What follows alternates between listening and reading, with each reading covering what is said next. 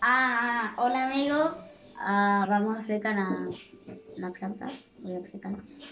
Ah, las plantas necesitan sol, lluvia, aire, tierra para crecer y, y hay un- una raíz, ¿no? Ah, que forma o un tronco o un tallo y de ahí o salen flores o fruta. Ah, las, las Bueno, si ves tres, ah, salen solas por el campo o, o cultiva, Tirar. na, cultiva el nombre o la recoge.